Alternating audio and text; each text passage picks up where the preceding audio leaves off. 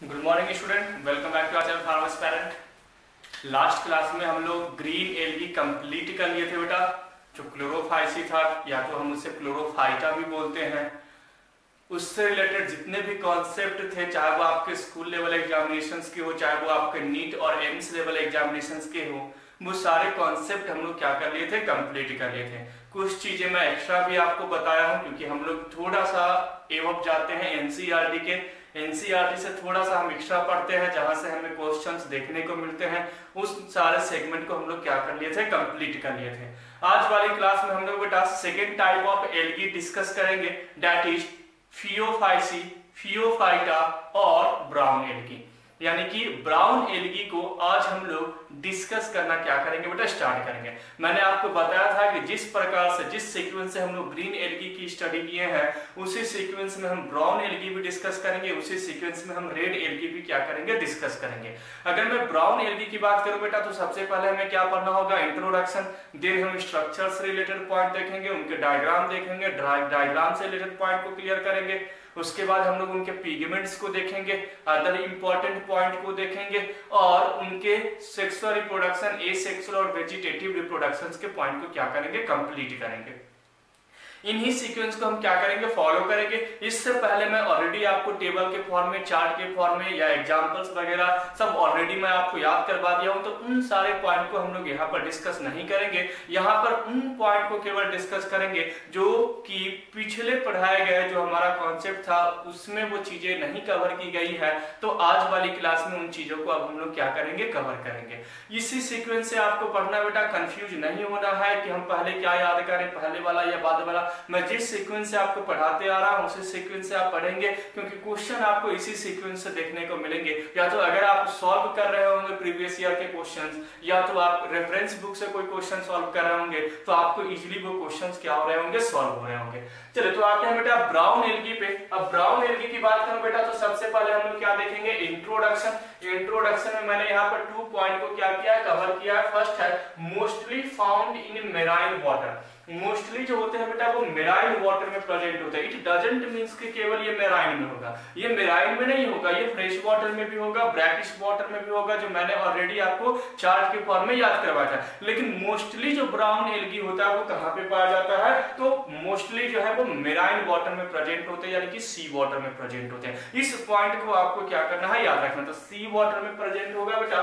तो मोस्टली क्या है बेटा फॉर्म इन मेराइन वाटर इसका मीनिंग बिल्कुल भी ये नहीं है कि ब्रैकिश और फ्रेश में नहीं होगा। मैं बार बार आपको कह रहा हूँ, लेकिन मैक्सिमम जो होते हैं, वो क्या होते हैं? मेराइन इन नेचर होते हैं। ठीक है? सेकेंड है colour olive green to brown depending upon the amount of xanthophyll और फ्यूकोजैंथिन प्रेजेंट एक्चुअली इनका कलर क्या है? ओलिव ग्रीन टू ब्राउन देखो, इससे पहले वाली जो एलगी थी, यानी दुनिया में जो सबसे पहले आई थी वो क्या थी भाई? ग्रीन एलगी थी। ग्रीन एलगी से अब ये ब्राउन एलगी में कन्वर्ट हो रहे हैं। ग्रीन एलगी से क्या चीज़ हो रहा है? ब्राउन एलगी में कन्वर्ट हो रहा है। तो ग्रीन वाला कुछ पोर्शन तो होगा ही होगा इनमें। यानी ग्रीन कलर के कुछ पिगमेंट्स तो होंगे ही होंगे क्योंकि क्लोरोफिल ये प्रेजेंट तो हर किसी में है ना? यूनिवर्सली प्रेजेंट है पिगमेंट्स क्लोरोफिल चाहे वो ब्राउन हो रेड हो, चाहे वो ग्रीन हो। तो ये ग्रीन इनमें तो होंगे ही होंगे। यानी ओलिव ग्रीन टू क्या होगा बेटा? ये ब्राउन कलर में क्या होंगे? ये प्रेजेंट होंगे। तो यहाँ पर ये ब्राउन कलर कितना ज़्यादा शो करेगा, कितना ज़्यादा डीप ब्राउन दिखेगा या डीप ब्राउन नहीं दिखेगा लाइटली ब्राउन दिखेगा, वो डिपेंड करता है जैंथोफिल फीकोजैंथिन के कंसंट्रेशन पे। जैंथोफिल यानी जो फीकोजैंथिन है बेटा, ये क्या है इनके? ये ब्राउन कलर को रिप्रोड्यूस कर सॉरी प्रोड्यूस करने के लिए क्या होता है बेटा? एक मतलब ब्राउन कलर को शो करने वाला एक पिगमेंट्स है। यानी अगर ये प्रेजेंट होंगे तो वहाँ पर कैसा कलर प्रोड्यूस होगा? कैसी अपियरेंस दिखेगी? तो वहाँ पर अपियरेंस दिखेगा ब्राउन कलर का। तो ये डिपेंड करता है एक्चुअली ये olive green to brown colour है और कितना ब्राउन होगा लाइट ब्राउन होगा या डीप ब्राउन होगा, ये डिपेंड करता है कि यहाँ पर जैंथोफिल और फ्यूकोजैंथिन का कंसंट्रेशन क्या है। तो ये दो पॉइंट आपको याद रखना है कि मोस्टली मेराइन होता है कलर की बात की जाए तो olive green to brown in colour होता है डिपेंड्स अपॉन फ्यूकोजैंथिन और जैंथोफिल प्रेजेंट कितना उसमें जैंथोफिल और फ्यूकोजैंथिन क्या है प्रेजेंट है। ये आपको इंट्रोडक्शन वाले पोर्शन में दो पॉइंट को आपको क्या करना है बेटा, अभी याद रखना। रखना है ब्राउन एलगी से। सेकेंड पॉइंट जैसे हम लोग वहाँ पर ग्रीन एलगी को डिस्कस किए थे तो वैसे यहाँ पर हम लोग स्ट्रक्चर पे आ जाते हैं कि स्ट्रक्चर से रिलेटेड ऐसे कौन कौन से कॉन्सेप्ट हैं जो हम लोगों ने डिस्कस नहीं किया है, जो चार्ट के फॉर्म में या कुछ और भी चीज़ों में जो हमने प्रीवियस क्लास में पढ़े हैं। उन उन पॉइंट को, यानी जो हम लोग डिस्कस नहीं किया, उस पॉइंट को स्ट्रक्चर से रिलेटेड में और क्या क्या हमें डिस्कस करना है, उससे रिलेटेड मैंने पॉइंट यहाँ पे आपको क्या कर दिया, लेकर के आ गया। स्ट्रक्चर में फ़र्स्ट पॉइंट हमें बॉडी से रिलेटेड पढ़ना है बेटा। देन सेल वॉल से रिलेटेड, देन इनकी मार्फोलॉजी, यानी बाहर से कैसे प्लांट देखते हैं, और देन एक थैलस लाइक ऑर्गेनाइजेशन ये थैलोफाइटा प्लांट है। तो थैलस से रिलेटेड भी इनमें कुछ पॉइंट है जो हमें क्या करना है, याद रखना है।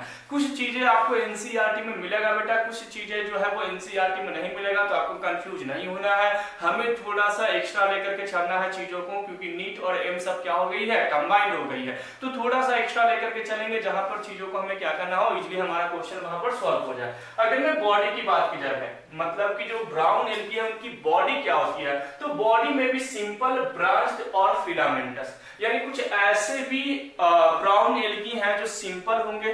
मे बी ब्रांच हो सकते हैं, या तो मे बी वो फिलामेंटस इन नेचर हो सकते हैं। ब्रांच यानी कि शाखाएँ उनमें प्रेजेंट होगी फिलामेंट लाइक ऑर्गेनाइजेशन आपको मालूम है, या तो ये सिंपल भी हो सकते हैं। यानी कि कोई भी ब्रांच नहीं होगा, ना ही इसमें कोई फिलामेंट लाइक ऑर्गेनाइजेशन प्रोजेक्ट होंगे। तो इट मीन क्या कह रहा है कि बॉडी जो है ब्राउन एल्गी की तो बॉडी बॉडी में भी सिंपल ब्रांच और फिलामेंटस जिसका बेस्ट एग्जांपल है एक्टोकार्पस एनसीईआरटी ने कवर किया है। और जो एनसीईआरटी एग्जांपल कवर करता है, वो एग्जांपल्स हमारे क्या हो जाते हैं? बहुत ही ज़्यादा इंपॉर्टेंट हो जाते हैं नीट के लिए, क्योंकि एनसीईआरटी के ही एग्जांपल्स नीट में क्वेश्चंस पूछे जाते हैं। तो मैंने क्या बताया कि कुछ ऐसे भी ब्राउन एल्गी हैं जो सिंपल ब्रांच और फिलामेंटस नेचर के होते हैं, जिसका बेस्ट एग्जांपल क्या है बेटा? एक्टोकार्पस है। सम में भी प्रोफ्यूजली ब्रांच यानी कुछ ऐसे भी हैं जिनमें ब्रांच ऑर्गेनाइजेशन बहुत ही ज़्यादा प्रेजेंट होता है। प्रोफ्यूजली क्या है भाई? वो ब्रांच फॉर्म में है। यानी प्रोफ्यूजली का मतलब क्या हुआ? यहाँ पर बहुत ही ज़्यादा क्या होना?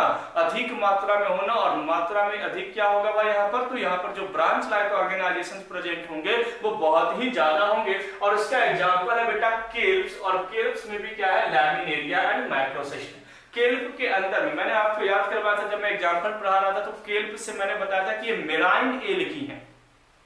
मेरा मतलब मरने के बाद भी दिया जलाया।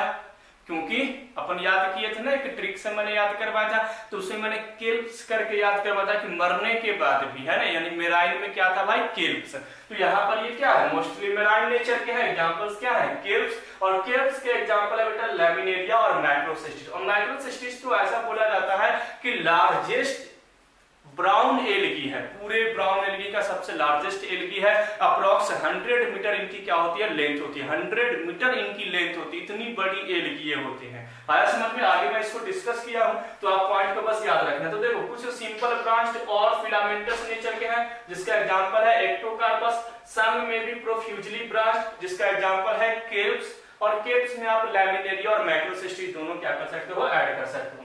चलिए तो ये तो बॉडी से रिलेटेड हो गया कि बॉडी सिंपल है ब्रांच है प्रोफिजली ब्रांच है, या फिलामेंटस है, और है तो क्या है, उनका एग्जांपल्स हमें याद रखने हैं। सेकंड है सेल वॉल से रिलेटेड सेल वॉल से रिलेटेड एक पॉइंट और भी देखेंगे आने वाली क्लास में, अगले क्लास में सेल वॉल से रिलेटेड एक पॉइंट और आपको बताऊँगा जो बहुत इंपॉर्टेंट है। लेकिन अभी फ़िलहाल जो पॉइंट अभी है, जो हम क्या कर लेते हैं कवर कर लेते हैं। तो सेल वॉल में बेटा made up of cellulose which is usually covered by gelatinous coating of algin actually इनकी भी सेल वॉल सेलुलोज का ही बना होता है, लेकिन इनके सेल वॉल के बाहर सेलुलोज के बाहर एक जिलेटिनियस सीथ प्रेजेंट होते हैं बेटा। जिलेटिनियस सीथ प्रेजेंट होते हैं, जिसके अंदर क्या प्रेजेंट होता है? एलजीन प्रेजेंट होता है, या तो हम एलजीनिक एसिड भी इसको बोलते हैं, जो आने वाली क्लास में जब मैं इसका यूज़ पढ़ाऊँगा तो उसमें मैं आपको अच्छे से डिस्कस करूँगा। और मैंने टेबल के फॉर्म में चार्ट के फॉर्म में भी मैंने बता दिया था कि सेलुलोज विथ एलिजीन प्रेजेंट होता है ब्राउन एल्गी में। सेलुलोज विथ पेक्टोज प्रेजेंट होता है ग्रीन एल्गी में। ये सब हम लोग ऑलरेडी भी डिस्कस कर चुके हैं, लेकिन तब भी इस पॉइंट को हम लोग यहाँ पर क्या करिए ऐड करिए कि अगर स्ट्रक्चर है तो सेलवॉल से रिलेटेड पॉइंट हमें क्या याद रखना है? तो made up of cellulose which is usually covered by gelatinous coating of algin algin के जिलेटिनियस कोटिंग सेलुलोज के ऊपर क्या होता है? प्रेजेंट होते हैं। बहुत इंपॉर्टेंट पॉइंट है। ये पॉइंट को आपको क्या करना है? याद रखना है। थर्ड है मार्फोलॉजी से रिलेटेड यानी कि इनकी मार्फोलॉजिकल प्रॉपर्टी क्या है? बाहर से कैसे प्लांट दिखते हैं? तो देखो एक एग्जांपल मैंने यहाँ पर दो ऐसे डायग्राम मैंने बनाया है, आपके एनसीईआरटी में तीन चार डायग्राम दिए गए हैं। उन सभी डायग्राम को आपको क्या कर लेना है? बना लेना है बेटा। यहीं पर जब आप इस चीज़ को लिखोगे, मैंने दो ही बनाए हैं। वहाँ पर चार ब्राउन एलगी के एग्ज़ाम्पल दिए गए बेटा, उनको आपको क्या कर लेना है? अच्छे से बना लेना है। क्योंकि एग्ज़ाम्पल से भी क्वेश्चन आते हैं डायरेक्ट की किसकी एग्जाम्पल्स है? पहचानने के लिए या तो एबीसीडी करके वो पूछते हैं। अब देखो, क्या दिख रही है बाहर से? तो एक होल्ड फास्ट दिख रहा है। फिर क्या दिख रहा है स्टीप और क्या दिख रहा है बेटा? फ्रंट दिख रहा है। तीन तरह की चीज़ें दिख रही है जो दोनों में कॉमन है। इसमें भी फ्रंट है मिड रिव है होल्ड फास्ट है। आया समझ में? तो देखो फ्रंट स्टीप और होल्ड फास्ट ये तीन चीज़ें बाहर से दिख रही है। तो देखो, यहाँ पर जो मार्फोलॉजी है, सबसे पहले क्या है बेटा? होल्ड फास्ट होल्ड फास्ट का फ़ंक्शन क्या होता है? फॉर अटैचमेंट एक्चुअली ये अटैच करके रखता है। सॉइल से इसको अटैच रखता है। एल की हंड्रेड मीटर लेंथ है। ये सॉइल से इसको क्या कर रखा है? अटैच करके रखा है। ताकि वो उससे जुड़े रहे, वो वहाँ पर फ्लक्चुएट तो हो, लेकिन जो ज़मीन है, उससे क्या रहे? या स्टोन है, या जो भी वहाँ पर चीज़ें प्रेजेंट है, उससे वो क्या रहे? वह जुड़ा हुआ रहे। तो जुड़ने के लिए, उसको कांटेक्ट के लिए, उससे पकड़ने के लिए होल्ड करने के लिए होल्ड का मतलब क्या? होल्ड करना। तो होल्ड करने के लिए क्या प्रेजेंट है बेटा? होल्ड फास्ट तो फॉर अटैचमेंट सेकंड स्टीप क्या बेटा for stalk stalk like organisation stalk like organisation है, जिसको हमने क्या नाम दिया? बेटा स्टीप नाम दिया है एलगी के अंदर में। फ्रंट क्या बेटा तो लीफ लाइक ऑर्गेनाइजेशन ये जो फ्रंट है, ये लीफ लाइक ऑर्गेनाइजेशन है, जो लीफ का फ़ंक्शन होता है, वही ब्राउन एलगी के फ्रंट का क्या होता है? फ़ंक्शन होता है। आया समझ में? तो लीफ का फ़ंक्शन क्या है बेटा? तो मोस्टली जो लीफ होते हैं वो फोटोसिंथेटिक होते हैं। फोटोसिंथेसिस में परफॉर्म करते हैं। तो यहाँ पर भी जो फ्रंट होगा, वो क्या होगा? फोटोसिंथेटिक होगा। ये सभी के सभी पॉइंट आपको याद रखना देखो कुछ ऐसी चीज़ें हैं, मैं कॉन्सेप्ट बाय चीज़ों को कंप्लीट कर रहा हूँ। लेकिन आपको यहाँ पर चीज़ों को याद करना पड़ेगा। बूटनी में कुछ ऐसी चीज़ें हैं जहाँ पर हम कॉन्सेप्ट तो लगाते ही हैं, लेकिन हमें कुछ ऐसी भी चीज़ें हैं जिसको डायरेक्ट हमें क्या करना होता है? याद करना होता है। तो यहाँ पर स्ट्रक्चर की अगर बात की जाए मार्कोलॉजिकल स्ट्रक्चर की बात की जाए तो तीन चीज़ें प्रेजेंट है holdfast stipe and frond present है होल्ड फास्ट क्या है भाई? For attachment stipe for stalk like organisation and जो हमारा फ्रंट है बेटा, वो क्या है? लीफ लाइक ऑर्गेनाइजेशन है. And it is photosynthetic in nature ये फोटोसिंथेटिक नेचर का है. फोटोसिंथेटिक्स क्या करेगा? परफॉर्म करेगा. तो हम लोगों ने बॉडी में देखा कि सिंपल ब्रांच प्रोफिशली ब्रांच या तो फिलामेंटस कौन है? सेल वॉल में देखा कि सेलुलोज के बाद एक जेलेटिनियस शीट है एलर्जीन का बना होता है. नेक्स्ट हम लोगों ने मार्फोलॉजिकल प्रॉपर्टी में होल्ड फास्ट स्टीप और क्या देखा बेटा? फ्रंट को डिस्कस किए। नेक्स्ट कुछ थैलस लाइक ऑर्गेनाइजेशन से भी कुछ पॉइंट है बेटा। यानी ये जो थैलोफाइटा वाले प्लांट है, ये थैलस लाइक ऑर्गेनाइजेशन जो इसमें प्रेजेंट है तो थैलस से रिलेटेड कुछ पॉइंट है और थैलस से रिलेटेड पॉइंट है बेटा lamina and stipe actually thallus में दो तरह की चीज़ें प्रेजेंट होता है बेटा। इस तरह से आप समझो। ये ये इस तरह से होते हैं थैलस लाइक ऑर्गेनाइजेशन तो ये जो है बेटा, ये this one is lamina and this one is stipe आया समझ में? लैमिना लीफ लाइक ऑर्गेनाइजेशन होगा। देखो यहाँ पर लिखा होगा। लैमिना क्या होगा लीफी फोटोसिंथेटिक पार्ट इसी इसी को अपन बोल रहे हैं।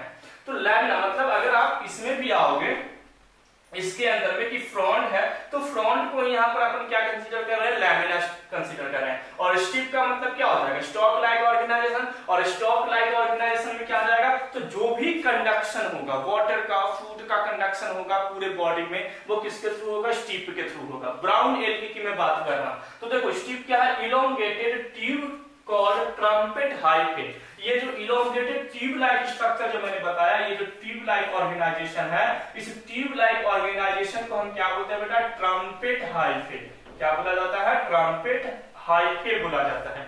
ये ट्रम्पेट हाईवे क्या है भाई? तो प्रेजेंट फॉर फ़ूड कंडक्शन यानी अगर इस एरिया में लैमिना फोटोसिंथेसिस हुई है, यहाँ पर फ़ूड का फॉर्मेशन हुआ है तो ये फ़ूड इन्हीं के थ्रू ये जो स्टीप में जो ट्रम्पेट हाइवे बेटा ट्यूब लाइक ऑर्गेनाइजेशन इसी के थ्रू पूरी पूरी बॉडी में क्या होगा भाई? कंडक्ट होगा, पूरी बॉडी में क्या होगा? एक जगह से दूसरे जगह मूव करेगा। तो यहाँ पर ये थैलस रिलेटेड पॉइंट भी हमें याद रखना है कि लैमिना और स्ट्रिप दो चीज़ें प्रेजेंट है। लैमिना लीफी लाइक स्ट्रक्चर है लीफ प्रेजेंट है फोटोसिंथेटिक होता है, और स्टीव क्या बेटा? तो स्टीव यहाँ पर एक इलोंगेटेड ट्यूब लाइक ऑर्गेनाइजेशन है, जिसको हम ट्रम्पेट हाइफे भी बोलते हैं और trumpet hyphae will be responsible for conduction of food in brown algae इस पॉइंट को आपको अच्छे से क्या करना है? याद रखना। तो लैमिना एंड स्टीप ये दोनों से रिलेटेड पॉइंट हमारा क्या हो गया? कंप्लीट हो गया। तो देखो स्ट्रक्चर में हमने बॉडी देख लिया सेल वॉल देख लिया अभी इससे रिलेटेड इनके यूज़ देखेंगे एलर्जीन से रिलेटेड इनके यूज़ देखेंगे। जो आने वाली क्लास में मैं बताऊँगा, बहुत इंपॉर्टेंट कॉन्सेप्ट है। मार्फोलॉजिकल प्रॉपर्टी हमने कंप्लीट कर लिया और थैलस लाइक ऑर्गेनाइजेशन से लैमिना और स्टीप ट्रम्पेट हाइपे इन सारे वर्ड को आज हम लोग क्या कर लिए कंप्लीट कर लिए। ये बेसिक बेसिक वर्ड है बेटा, इस पे आपको कमांड बनाना बहुत ज़रूरी है और मैं हमेशा बताता हूँ कि चैप्टर आपके लिए बहुत इंपॉर्टेंट है। चार पाँच क्वेश्चन लेकर के आएगा आपके लिए नीट में, है ना? तो ये जितनी, क्योंकि अब हम लोग कहाँ पर आ गए हैं? बेसिकली अब हम लोग बूटनी पे शिफ्ट कर चुके हैं। अब हम लोग प्लांट को पढ़ना स्टार्ट कर दिए अच्छे से। तो अब ये सारे के सारे जितने भी कॉन्सेप्ट है, ये हमारे नीट के लिए बहुत इंपॉर्टेंट हो जाते हैं।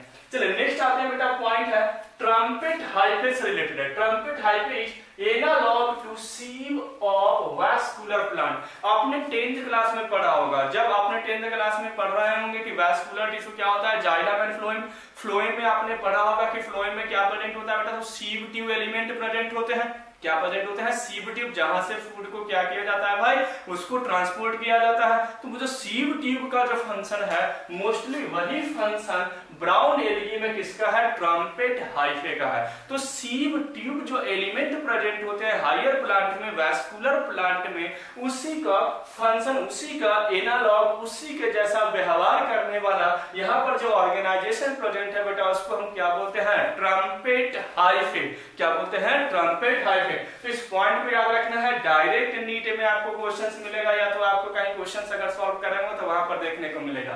तो trumpet hyphae is the analogue to sieve of vascular plant है ना? नेक्स्ट पॉइंट है some brown algae are heterotrichous in nature homo का मतलब होता है सिमिलर टाइप और हेट्रो का मतलब होता है डिसिमिलर टाइप यानी कि यहाँ पर कुछ डिसिमिलरिटीज देखने को मिलेंगे ब्राउन एल्गी के अंदर।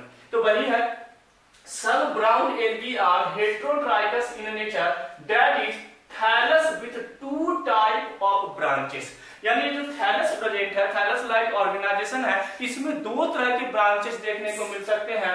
First one is prostrate and second one is erect ये प्रोस्टेट भी हो सकता है इरेक्ट भी हो सकता है। और उसका बेस्ट एग्जांपल है बेटा सार्गेसम, आपको डायरेक्ट याद रखना है कि Sargassum is the heterotrichous nature of brown algae या heterotrichous type of brown algae आया समझ में? डायरेक्ट आपको क्वेश्चन पूछा जाएगा which one of the brown algae is heterotrichous in nature तो आपको डायरेक्ट एग्जांपल्स याद रखना है कि दैट इज़ सार्गेसम। सार्गेसम एक ऐसा है बेटा ब्राउन एलगी जो हेट्रो हेट्रोट्राइगस नेचर के होते हैं, इनके थैलस जो होते हैं, वो इरेक्ट और प्रोस्टेट दोनों होते हैं। आया समझ में? तो ये डायरेक्ट कुछ पॉइंट है जो आपको क्वेश्चन में भी देखने को मिलेगा तो मैंने वो दोनों पॉइंट को आपको यहाँ पे रख दिया, ताकि इन इन पॉइंट को आप बार बार नज़र लगाते रहो तो आपको क्या हो जाएगा? याद हो जाएगा, और अगर यहाँ से क्वेश्चन आते हैं, नीट में तो सॉल्व हो जाएँगे।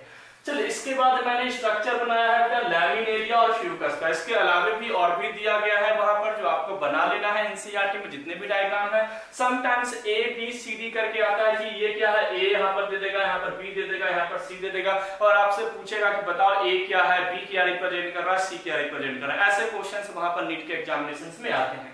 तो ये लीफी लाइक ऑर्गेनाइजेशन है बेटा, जिसको हम फ्रंट बोलते हैं फ्रंट बोलते हैं this one is stipe and this one is holdfast जो अटैच करके रखता है। वैसे ही फ्यूकस में क्या है बेटा होल्ड फास्ट है मिड रिब है, बीच में मिड रिब प्रेजेंट है कंडक्शन के लिए फ्रंट लीफी लाइक ऑर्गेनाइजेशन और एयर ब्लैडर हायर जो ऑर्गेनाइजेशन होते हैं हायर जो एलगी होते हैं ब्राउन एलगी उनमें एयर ब्लैडर प्रेजेंट होते हैं फॉर फ्लोटिंग फ्लोट करने के लिए. एयर प्रेजेंट होगा अंदर तो वो एयर क्या करेगा? उसको पानी में फ्लोट करने में क्या करेगा? हेल्प करेगा. तो चाहो तो यहाँ पर आप ऐड कर लो. एयर ब्लैडर क्या करेगा? तो रिस्पॉन्सिबल फॉर फ्लोटिंग है ना? फ्लॉट करने के लिए रिस्पॉन्सिबल होते हैं। तो ये तो डायग्राम भी हम लोगों ने देख लिया नेक्स्ट क्लास में हम पिगमेंट्स देखेंगे बेटा। इनके रिप्रोडक्शन से रिलेटेड कॉन्सेप्ट को देखेंगे। इनके यूज़ से रिलेटेड कॉन्सेप्ट को देखेंगे। और एक एल्जिनिक एसिड एल्जिन वाला जो कॉन्सेप्ट है, उस कॉन्सेप्ट को भी क्लियर करेंगे कंप्लीट करेंगे और ब्राउन एलगी को हम लोग क्या करेंगे? फिनिश करेंगे। तो हम लोग नेक्स्ट क्लास में मिलते हैं बेटा। नेक्स्ट कॉन्सेप्ट के साथ। Thank you for watching for my parent